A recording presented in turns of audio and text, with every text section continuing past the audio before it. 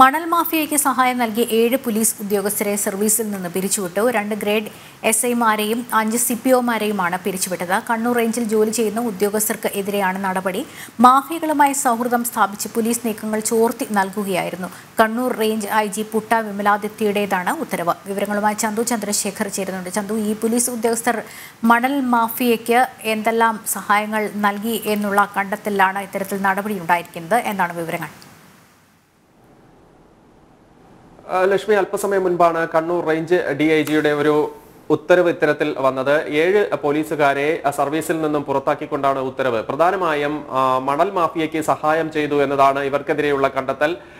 Kunnamkulam police സ്റ്റേഷനിലായിരിക്കുമ്പോൾ ഈ അഞ്ച് police ഉദ്യോഗസ്ഥർ മണൽ മാഫിയയെ സഹായിച്ചു. മണൽ മാഫിയെ സഹായിച്ചത് ഉന്നത പോലീസ് ഉദ്യോഗസ്ഥരുടെ നീക്കങ്ങൾ അവരുടെ വിവരങ്ങൾ അടക്കം ഇവരുടെ ലൊക്കേഷൻ അടക്കം ഈ മണൽ മാഫിയ സംഘങ്ങൾക്ക് ചോർത്തി നൽകിയാണ് ഇത്തരത്തിൽ മണൽ മാഫിയ സംഘങ്ങളെ സഹായിച്ചത്. ഈ ഇവരുടെ ഈ പ്രവൃത്തി പോലീസിന് തന്നെ കളങ്കമാകുന്നു എന്ന ഒരു വിലയിരുത്തലിന്റെ അടിസ്ഥാനത്തിലാണ് ഇപ്പോൾ ആ, നടപടി എടുത്തിരിക്കുന്നത്. ഗ്രേഡ് എസ് ഐമാർ രണ്ട് ഗ്രേഡ് എസ് ഐമാർക്കെതിരെയാണ് നടപടി. ഇതിൽ.